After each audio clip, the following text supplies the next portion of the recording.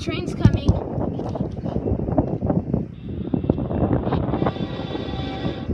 We got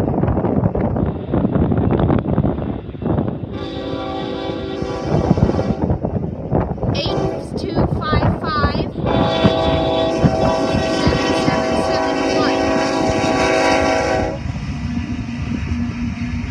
It's an oil train.